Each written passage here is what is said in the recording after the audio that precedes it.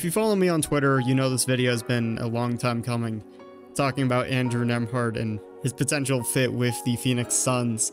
I mean, yeah, I've just become a little bit obsessed with Andrew Nembhard, watching him play for Gonzaga, and uh, this kid is, you know, the most similar prospect to Chris Paul we've seen in the last 15 years. And the fact that he might be available in the late second round and the Suns might have the opportunity to draft him or trade up not even that much to draft him.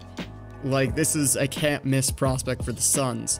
When you find a guy that's this similar to your star player who's aging, this is a guy that you absolutely have to jump on and make sure you get on your roster. Despite what people talk about, you know, we don't want to get more younger players. The fact of the matter is, is that the Suns always have more spots in their roster, and at the end of the day, he can even just be a two-way contract. So why not target a guy like Andrew Nembhard, who's very available. He's not he's not going to be too difficult to acquire. I mean, he's averaging eight points and five assists per game, and we'll get into it. It's a lot more about the eye test with uh, Nembhard uh, in comparison to his actual counting stats, but uh, Nembhard he is going to be a fantastic player in the league.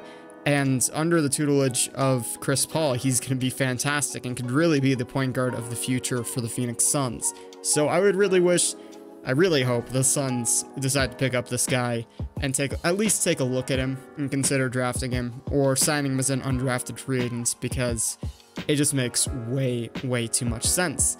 So today's video, it's going to be a bit longer because I'm going to be looking at some of his highlights at the end, and that's a few minutes I think that's like seven minutes of highlights. I don't really know how to edit well, so that's where why we're just looking at highlights. But if you want to look at full game footage of him, I'm gonna link the two best games he's had this season against uh, UCLA and Texas Tech. So I'm gonna link the highlights to those games and also those full games. And I'm also gonna link a channel that has nine out of the 11 games Gonzaga's played this year. Uh, they uh, this one channel they just upload a ton of NCAA games, like the full games with the commercials edited out. Really cool channel, and if you want to watch uh, these games back on replay, definitely uh, subscribe. The Draftmatic. There's gonna be a lot of links in the description. There's a lot to talk about today. Uh, but yeah, if you want to watch the full game footage, I'm not gonna be putting full game footage, and I'm just looking at highlights because yeah, I don't know how to edit. Anyways, let's take a look. Here's our overview of Andrew Nembhard, and then we'll get into the highlights after looking at this. Nembhard is a senior at Gonzaga. He's 6'5", 195, 22 years old, uh, right around the time of recording this video. And yeah, I mean, uh, it's it's Nembhard. He's projected to be a 45 to 60 in that draft range. guy I respect the most in the draft community, Hoops Intellect, link in the description to his channel, is projecting him to go 47 and we all, or I think he's 47th in his big board, actually. I don't think it was a mock draft. And I think NBA Draft.net also had him around the 40s range, but a lot of other places have him as an undrafted free agent. That's where the Suns could really move in. Suns currently own the 60th pick in the second round, and I mean, Nembhard might fall to there, but you could also consider trading up. Trading up uh, in today's NBA, especially like moving a few spots up in the second rounds, will just cost a small price of a few million dollars well, that's not exactly a small price. It's just a question of will Robert Sarver pay it? I don't know. Couldn't tell you at this point. If someone convinces him it's a good enough move, then maybe he will. He's averaging 8.7 points, 5.0 assists, and 3.2 rebounds per game during the season so far. He's really only had two big games this season. The two we're going to be talking about, UCLA and Texas Tech. Stepping up against ranked opponents is, you know, somewhat impressive. Uh, good job by Nembhard taking a step back when he's playing those conference opponents, a lot weaker, you know, weaker teams that they've played against this season. He's also averaging 1.6 steals and 2.4 turnovers per game. That is a 2.1 assist to turnover ratio. In comparison, uh, Chris Paul, he averaged 2.3 assist to turnover ratio during his sophomore year of college. And he's shooting 42.7% from the field, 31% from three, and 70% from the free throw line. Those stats don't look good, but once again, he's had a, a really slow start to the season, and I expect those numbers to pick up. I think uh, so far in his college career, he's shooting 44% from the field, 33% from three, and 76% from free throw. That's just off the top of my head. And yeah, Nembhard. Uh, just looking at his stats, comparing him to other point guards that are very successful in the league right now, the guy he's most comparable to is Jrue Holiday out of UCLA during, I think it was 06, and, or not 09, I think 2009 is when he played with UCLA. And uh, yeah, a very, very similar stat line between the two players. Some other guys in comparison, Fred Van VanVleet is a very similar guy in terms of a senior who put, a, put up very similar stats. VanVleet uh, noticeably was in a weaker conference and playing weaker competition and had a higher usage percentage. But otherwise, those two stat lines really match up. And some other names out there, Kyle Lowry, also very similar stat line there. And let's take a look at his strengths, just, you know, eye test type stuffs, uh, stuff, strengths. He's a pick and roll ball handler. I mean, there's a reason that I'm comparing him to Chris Paul, and I think he's so similar to him. It's the way he uh, masterfully operates the pick and roll. Uh, he's just very, very good at it for being a college player. This is before he's in the NBA with NBA talented big men. Well, I mean, granted, he's playing with Drew Timme, has been fantastic. He is an NBA big man in the, the future, but you know, you give him an actual NBA, like an amazing NBA player like DeAndre Ayton, he's going to look so much better. And uh, he just really knows how to operate, get the defender on his back, and make something happen. He can shoot the mid range, he can drive to the basket, he knows how to dump it off to the big or kick it out to a shooter. He is very good at finding those open shooters when the rotations do give him that open pass. And, you know, a lot of the time, maybe the shooters just miss it. And that's why he doesn't have nearly as many assists per game as he might average when he comes into the league. And uh, yeah, I just see a lot of the time, especially against Texas Tech, if you guys go back to rewatch that, that game was very recently. And uh, if you take a look at that one, he made quite a few great passes, ones he heated up from three, and his opponents just missed. And he could have had quite a few more assists during that game. Uh, another thing he does, just like Chris Paul, he's very good at controlling the pace of the game. Uh, in contrast to Chris Paul, he's amazing on the fast break. Uh, one of the reasons why the Gonzaga offense was so deadly last year, I think it was the most, I think it was the most efficient offense in NCAA history. And a large part of it was due to the fast break, which Andrew Nembhard was probably running like 70% of those fast breaks with Jalen Suggs and Joel Ayayi and the rest of that Gonzaga squad. And it's not just him running the fast break. I mean, he's insanely efficient in the fast break, you know, finding the open guy, finishing with his 6'5 uh, frame. He's also, you know, able to slow the game down, go into a pick and roll, find the best shot instead of, you know, jacking something up early. And that type of ability is so similar to Chris Paul. It's just not the type of composure and maturity you see out of other college basketball players. Nembhard's already presenting this as a 22 year old even Chris Paul. I mean, I mean, uh, th there's just not anyone you can really compare him to, or no other player can really be compared to Chris Paul this similarly. I mean, maybe the name that's going to jump to mind is Sharife Cooper, who just got drafted last year. But Sharife Cooper is a lot more dynamic and has a lot more reliance upon his quickness. When you see Nembhard play, it's just very similar to how we've seen Chris Paul play and operate the game of basketball. And these two factors are just so similar to Chris Paul that you have to think the Suns have their eye on Nembhard, especially considering their last game against Texas Tech that I've been talking about was in Footprint Center. Like it was in the Suns arena. There's no excuse for them missing this game. There's no game that night or anything. Like the guys should have been in the arena, you know, the squad and the the general management should have been in there watching games happen, and they would have seen Andrew Nembhard. He had a great game. He had 16 points, hit four threes. Uh, he does a great job of pushing the ball in the fast break. He's also 6'5". He is massive uh, in comparison to Chris Paul, who measures in around 6 foot 6'1", depending on where you're looking. And yeah, uh, he really does use his size well. He's a solid finisher, uh, somewhat inconsistent, as you might, you know, figure out from that 43% field goal shooting. Like, he's not the most consistent guy, but he has that 6'5 frame. If you add on some more muscle, I think he can become a much better finisher than Chris Paul has been, especially in the last, you know, few years or so. He's also a solid defender. No means like Chris Paul's impact this season, but uh, using a 6'5 uh, frame, once again, like just, that's pretty pretty cool for a point guard. And uh, he's done a great job Gonzaga. Absolutely, it's not been a defensive hole. Maybe even better than you know Jalen Suggs and Joel Ayayi at times. You know, two NBA guys who were drafted partly because of their defense. And I think Nembhard never has been a defensive weakness for that team. He always steps up, he puts in effort, he's solid at stealing the ball. And yeah, he gets stuff done as a defender as well. And he can also uh, he can hunt for threes. This is one of his biggest differences from Chris Paul is that he's very good at finding that three-point jump shot, whether it be finding that step back three. I mean, Chris Paul, we've seen him do it uh, just most recently. He's been doing it, you know, he just does the same thing every time. When he's hunting for threes, he gets to switch onto the big man and he just does a one dribble pull up and they never know how to guard him for some reason, even though he always does the same thing. Otherwise, he just kind of sits there and maybe gets a catch and shoot three. In comparison, you see Nembhard, a lot of the time he's moving around like a natural shooter. And when you set up screens for your point guard, when you have these playmakers away from the ball like the Suns have with Booker, with Mikal Bridges, guys who can make those passes, uh, then you can get Nembhard rolling off of these passes, and you can get you can get screens set for your point guard to open up for threes. And the Suns really haven't incorporated that into their offense before, but this is an avenue you can go with Nembhard. He can he can hit threes off of movement, and he can also hit threes off the dribble. And uh, that's something the Suns have been looking for: more pull-up three-point shooters and more, yeah, guys who can hit the three and create the three off the dribble. That's something they've been wanting.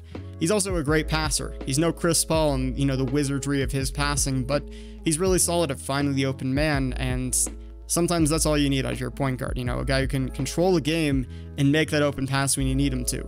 And, you know, just give him more experience in the league, give him the tutelage and the tutoring of Chris Paul. He's going to look so much better as a passer. And finally, He's got a solid off dribble mid range jump shot just like Chris Paul, something he's going to be working on throughout his career, but for now, it looks pretty good and he's been hitting it. And yeah, it's definitely one of the strengths in Nembhard. When you look at his weaknesses, it's not a lot of tangible stuff other than, you know, it's a small role and a small sample size. He's playing with a ton of talent at Gonzaga. Last year, he had three NBA players. Uh, three players got drafted into the NBA. Uh, I mean, Ayayi was one of the first UDFAs, so you know, you got three guys in the NBA. This year, he's playing with six guys. I counted on their roster that are going to make the NBA. And it's just like, you got a ton of talent there. Everyone's trying to compete. But Nembhard's still stepping up as that point guard. He just doesn't have a high usage rate, and uh, he's just been solid, you know? He's doing what he needs to do to win games. The two games he struggled in have been the two losses for his team, actually, against Alabama and against Duke. And it's very clear that Nembhard is, you know, the reason why this team is going to be successful or unsuccessful with Gonzaga. And that really does come down to his role. You know, he's going to have to step up to win those big games against those ranked teams like Duke, like Alabama, like he did against Texas Tech. You know, he did step up against Texas Tech and UCLA and won those games for his team. Currently, against ranked teams, he's averaging 12 points, six and a half assists, and three steals, three rebounds per game and I think around three turnovers, just off the top of my head. And uh, in their five ranked matchups, Texas being their fifth ranked matchup, I haven't mentioned. And yeah, uh, Nembhard, he's been solid. He stepped up big time in two big matchups number one, UCLA, and number 25, Texas Tech. And we need to see that more consistently out of him. And yeah, let's just throw all of his weaknesses on screen. I thought I put consistency on here, but he's a bit inefficient at times and he's had he has these off games. That's what i mean by uh, consistency. You know he's having these games where he isn't great. You know you're playing against lower level competition. Why don't you just let guys like drew Timme and these other quality players dominate and win the games for you? I think that's kind of where nembhard's ended up and i honestly need to go back and watch more of those games because yeah i mean they're lower level teams but there's still stuff to be learned from those games. Also it's a lot reliant upon the eye tests watching Nembhard play, it's really a lot about how he plays the game and not how those stats actually look. And finally, how does he translate to the NBA? Uh, what's his leadership like? How is he going to play, you know, in a bigger role in the NBA? And I think we can give him time and develop him and then turn him into a starting caliber guy because Chris Paul's still got a lot more time in the league. Cameron Payne looks like our second point guard. So Nembhard coming in as our third point guard would give him a lot of time to get better and adjust to the league put him in some spot minutes, and then just get him better every single day and working hard with him. And Nembhard, I'm not the most like confident in his work ethic as I have been with other prospects, and a lot of other prospects I've been very confident in their success. I'm not as confident in his work ethic, But it is interesting to talk about. He's always been playing basketball since being a young kid. His father's really been pushing him to play basketball, and yeah, uh, he just loves the sport. He's always been playing it, and you know, uh, I think as a junior in high school, he nearly died, and uh, you know, in physical ther- therapy, you know, like his only way back was basketball and getting better. And he's like, uh, I have an article about it, which is going to be linked in the description. There's so many links going to be in the description. Uh, talking about how the first thing, like the first part of physical therapy, when they realize like this kid's gonna recover, is him just like dribbling a basketball. And yeah, uh, Nembhard. I'm not entirely confident in his work ethic, but I think he's got it. And I think maybe he's not like the super legendary work ethic guy, but he's got enough of it to be very successful. Anyways, I think we're about time to take a look at some of his highlights. And let's full screen this and crop this to make it look good. There we go. And let's just take a look at his game against UCLA. And I'll just point out what I see out of him. And I'll probably not interrupt it too much. Who cares about monetization? You know, I'll just let it play. Uh, so Nembhard, right there, gets the rebound, pushing the pace, and what does he do? He uses his size and he finishes right around the rim. And let's see, what is he gonna do here? I believe I watched almost entirely uh, this game and much of the Texas Tech game. There again, there it is, off movements, one dribble, three-point jump shot. That's the type of thing the Suns have been kind of missing, and Shamet's done a solid job at it, but Nembhard can bring that extra dyna dynamic right away making a solid pass to the open shooter. That's uh, Watson, from what I remember. Or I think it's Hinton. I don't know, I'm, I'm blanking. There's another solid finish. I mean, that's using a six-five frame against the small Tiger Campbell at UCLA. I think he's like 6 foot 5'11. And using his size there to finish over a smaller defender. Then we see him, you know, just making the solid pass. Julian Strawther, he's been killing it from three this year. His draft stock's gone way up, and he hits him for that open three. And he does a solid job of, you know, just pushing the pushing the pace. Look at this. Uh, Nembhard taking a look at this play, sees Timme there sealing off one defender, and he finishes over uh, a, a little bit of smaller defender. And once again, this is a lot of his game is taking advantage of these you know, uh, two on three situations where he can just use his uh, just great size and great passing ability to finish in these fast break situations where the defenders might not always be ready. And here we go. Here's uh, operating the pick and roll. Look at that. Defender comes down to clamp down on Drew Timme, you know, a 18 point per game scorer. He hits Chet Holmgren for the open three, which he's going to hit. I think he's, I don't know what he's shooting this year actually. And look at that. He's just attacking Jamie uh, Jaime Jaquez's angles and uh, Jaime Jaquez's ankles. And look at that. He's just crossed out of the frame, step back, hit the mid range jump shot. That's a bit similar to Chris Paul, a bit reminiscent. And here we go again. This looks like a three off movement from what I remember. Well, this time he doesn't shoot the three, and instead he's just, you know, surveying, looking for the open man, doesn't find anything and look at that. This time, he drops his defender right into the screen. He falls, and Nembhard hits the pull-up jump shot. Well, it wasn't really a pull-up jump shot at that point. It was just kind of wide open. And uh, let's take a look at what happens here. Nembhard off the screen, the pick and roll. He's got two guys on him.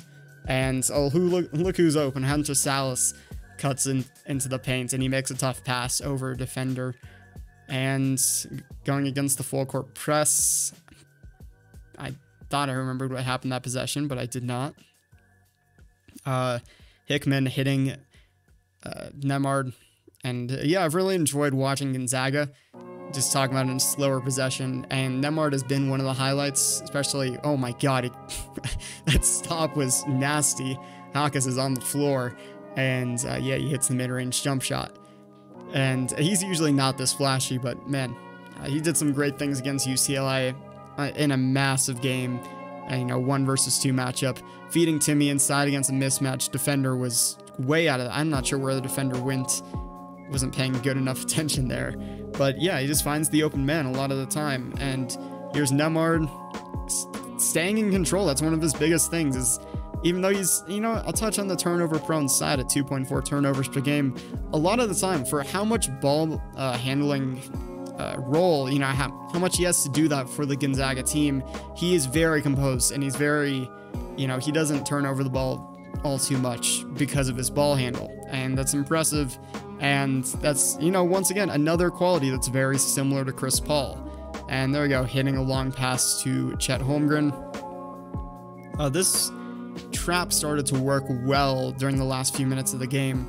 So finding a, uh, score against this this full court press that they were running is going to be a big deal for the Gonzaga team to make sure they close out against UCLA. And uh, right here, chewing down the clock, hitting Chet Holmgren, and you got to put a hand up, man. He's going to shoot over a guy like, God, I can't remember his name. Uh, Johnny, G he's going to shoot over a guy like Johnny Juzang is 6'6", 6'7", all the time. You know, that's what you do when you have a seven-foot shooter. Anyways, let's take a look against Texas Tech in the Footprint Center, as we all know and love. Andrew Nembhard hitting Chet Holmgren once again, 6'8", player trying to close out against a seven foot guy. Of course, you got to hit uh, Chet Holmgren who can hit those threes. And there's a good contest. And once again, you're pushing it on the break. Look for uh, Nembhard. He's wide, uh, kind of open there. No, there wasn't the plan for the play. I'm, I watched mainly the second half of this game. Uh, Nembhard, there we go. Stops, stays under control, hits Strawther for a little bit of a float, uh, push shot, I would say, push shot. And Sallis hitting Hickman, Timme, to Nembhard. What is he going to do? He's got a bigger defender on him. He's going to attack his ankles and step back into a three. Look at him hunting for threes. That's kind of pretty reminiscent of Chris Paul. You know, we've seen that him do that quite a bit against those bigger defenders where he goes downhill, you know, uh, just like one or two dribbles downhill, crosses back and hits the jump shot from three. Uh, Hickman with the ball right here. Timme's screen and looking for Nembhard. I think he hits three straight threes at some point during this highlights. Uh, I think he did hit, I think he hit three or four in the second half. Right there, he's hitting uh, Bolton off of movements, and Bolton had a great game from three, and, you know, he's hitting the open shooter. And, you know, off of movement, Bolton's going to hit that. And just look at the Gonzaga offense. Nembhard is operating uh, very, very well here. Texas Tech doing an admirable job on the defensive end, but he just feeds Timme. Mismatch. You know, you can only only do so much in the defensive end before giving up a mismatch to a guy like Drew Timme who's just dominating on the offensive end. Look at that. You know, drives all the way down, draws the defenders in, and hits it out to the shooter. Stays under control, doesn't turn over the ball. That is very impressive, and that type of dynamic ability is what's going to shine in the NBA floor. And yeah, uh, the main worry is does he have enough sample size of this stuff? Like, he isn't doing this all the time. Once again, attacking the 6'8 Kevin Obanor, who's just. he can't really keep up with a guy like uh, Andrew Nembhard who uses that quickness extremely well in going into those step back jump shots. And yeah, uh, once again, he's going to look for that three. Uh, he's going to hit a three right here. And just, you know, he's killing it. Uh, defenders in the late closeout and he hits the three. And we see a bit of a press from Texas Tech, a 1-2-2 uh, zone. And how is Nembhard going to dissect the zone, passing it back and forth? About to get trapped, stays under control, and hits. That's. I'm forgetting who that is. That's Watson, Anton Watson. I was blanking on his name for a second there. Saw uh, Hickman hitting Nembhard back to the red hot uh, Bolton for three, and he knocks it down uh, off motion once again, just hitting the guy who's red hot. And there it is, once again, creating in the mid-range shot. And that's just when I was like, man, I got I got to make a video about this kid. He's just killing it in the mid-range, attacking the ankles, making, you know, if he's seeing a guy going downhill, eh, he's a step too late. He's ready to make that shot and take that shot, you know. And there he is, open for three again. Is a red hot night for him uh, during that second half. And he's not too, he's not going to slow down and not take that shot. Solid defensive possession as well right there. Uh, just watching see a guy drive. Where is his defender? Uh, the guy he's supposed to be defending is out there uh, rolling out to, or popping out to the three, but he decides to stick in the paint. And it was a good decision. Look at that, just forcing the missed bucket. And he comes down on the other end. And I'm trying to remember what this bucket was. Uh, can't quite remember. What does he do here? Oh yeah, he just attacks and just goes right past his man. His defender's trying to block him off from going left right there, and he says, "What are you doing, man? You're giving you're giving up the free layup," and that's exactly what he does. He finishes in the paint. Uh, Watson doing a solid job of sealing off right there, not letting the defender in, and I think that's about it. Uh, I think y'all can see there's a lot of tabs open from doing research for this stuff, and I've lost my where where did it go? Where I, I don't know where it went. Anyways, that's the end of the video. If you enjoyed and you made it all the way to the end, please consider hitting subscribe. If you made it all the way to the end, you probably want to see more of my content. So hit yeah, hitting subscribe is the best way to do that. Anyways, uh, I'll see you in the next one. Goodbye.